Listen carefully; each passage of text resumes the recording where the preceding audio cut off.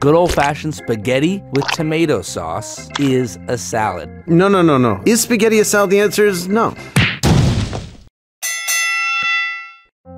Do you agree that a traditional pasta salad is a salad? I 100% agree that a pasta salad is a salad, specifically and arguably because one dresses a salad. And if a pasta salad is dressed, then it's a salad. If it's sauced, then it's a pasta. And what exactly is the difference between a dressing and a sauce? A dressing, for the most part, is vinegar based, unless it happens to be dairy based, whereas a sauce tends to be savory in nature but not acidulated.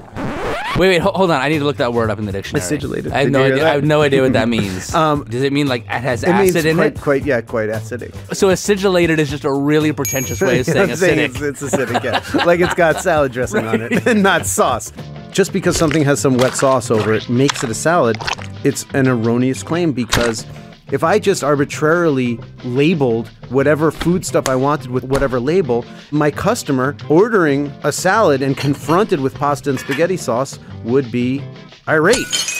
I'll grant you that people don't commonly call spaghetti and meatballs a salad. But times change. I may just be a little bit ahead of my time. Okay, maybe I was sent here from the future. You think that these are the salad days? I think that we're headed to the We're salad days the as soon as people days. start calling spaghetti and meatballs a salad. Well, we're constantly trying to become more and more healthy. The more that we can shove into that salad category, the better I can feel about myself, the happier I'll be. So I want to thank you really for making spaghetti into a salad so that I can eat it with abandon. You look like a very healthy meatball sub. Thank you, Dan. If you like this video, please check out my podcast. It's called The Sporkful. We like to say it's not for foodies, it's for eaters. Subscribe today wherever you get your podcasts.